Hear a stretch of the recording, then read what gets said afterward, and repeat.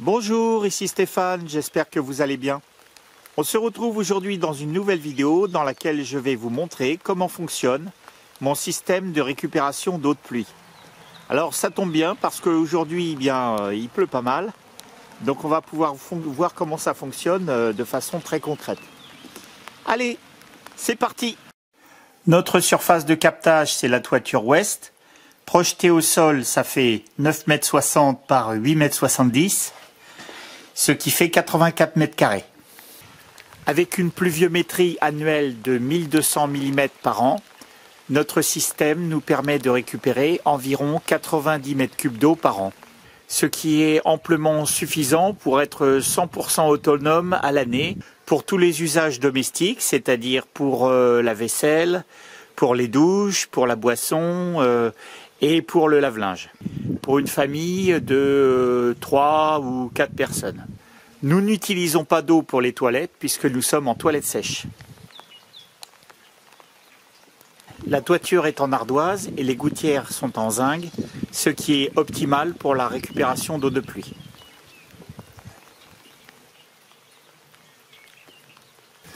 L'eau qui tombe de la gouttière euh, arrive dans un premier filtre. C'est un petit euh, chinois qui retient les, plus grosses impuretés. À l'intérieur, j'ai positionné un deuxième filtre qui est un filtre à café en plastique que je nettoie régulièrement. Alors vous voyez l'avantage c'est que ce petit filtre à café il me retient des impuretés les plus fines. Il faut le changer ou le nettoyer régulièrement. Bon, euh, un filtre café comme ça, ça coûte, euh, un euro. Hein. Donc il est positionné dans l'entonnoir, à l'intérieur.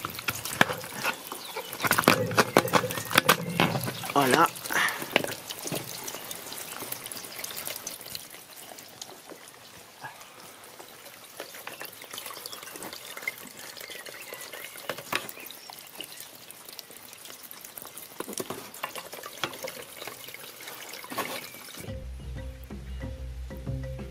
Ensuite, le tube court le long de la maison jusqu'à la citerne enterrée. Nous avons autoconstruit en famille la citerne en 2010 lors de la construction des fondations de la maison. J'ai demandé au péliste de réaliser un trou de 2,20 m de profondeur par rapport au sol fini. La citerne a été maçonnée sur une dalle coulée en béton en utilisant des blocs à bancher ferraillés horizontalement et verticalement est rempli de béton. La dimension de cette citerne est de 3,20 m par 5,20 m sur 10 blocs de hauteur, ce qui fait 2 mètres de hauteur utile.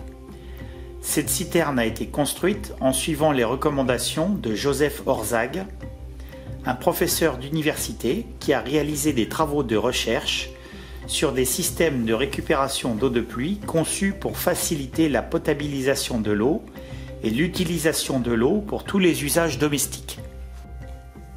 Je vous mets le lien vers son site dans le descriptif. C'est une mine d'informations que je vous recommande de consulter si vous avez un projet de récupération d'eau de pluie. Cette citerne comprend deux compartiments. Un premier compartiment de décantation qui fait 3 mètres cubes dans lequel l'eau arrive ce premier compartiment permet la décantation de l'eau. Tout ce qui flotte monte en surface et tout ce qui coule descend au fond. L'eau emprunte ensuite un tuyau coudé situé 30 cm sous la surface et déborde ainsi dans le second compartiment où elle arrive complètement débarrassée de ses impuretés. Ce second compartiment, qui est le compartiment de puisage, a un volume utile de 20 m3. L'étanchéité de la citerne est assurée par trois couches d'enduit d'étanchéité compatibles avec l'eau potable. Ce sont des produits qui servent habituellement pour l'étanchéité des châteaux d'eau. Toute la difficulté en autoconstruction consiste à obtenir une citerne parfaitement étanche. Au début, nous avions une fuite qui nous empêchait d'atteindre la capacité maximale, ce qui m'a contraint à vidanger complètement la citerne et à repasser une nouvelle couche d'étanchéité dans le grand compartiment. Le toit de la citerne a été réalisé avec un système de poutrelles et de ourdis dimensionné pour supporter le poids de 20 cm de terre sur lequel nous avons coulé une chape de 6 cm de béton en incorporant deux regards de visite. L'utilisation d'une citerne en béton permet de remonter le pH de l'eau de pluie, qui est légèrement acide, vers la neutralité. Elle minéralise légèrement l'eau de pluie, ce qui facilite sa potabilisation ultérieure. Une citerne enterrée permet également de conserver l'eau à l'abri de l'air, de la lumière, de la poussière et des insectes, à une température fraîche et constante, même l'été. Température de l'ordre de 10 à 13 degrés, ce qui évite la prolifération des bactéries. Cette citerne est équipée d'un trop-plein qui permet l'évacuation de l'eau lorsqu'elle est pleine. Ce débordement régulier permet d'évacuer les particules en suspension. Voilà, j'espère que ça vous a plu. N'oubliez pas de vous abonner pour ne rien rater. Dans ma prochaine vidéo, je vous montrerai comment l'eau est acheminée dans la maison pour tous les usages domestiques et comment elle est potabilisée.